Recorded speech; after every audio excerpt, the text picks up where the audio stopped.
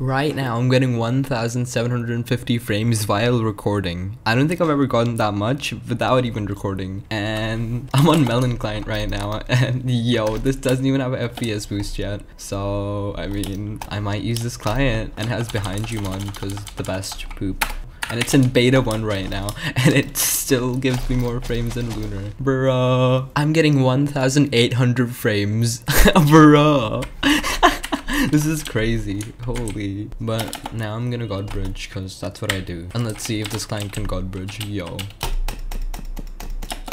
Good god bridge client. Yo easy easy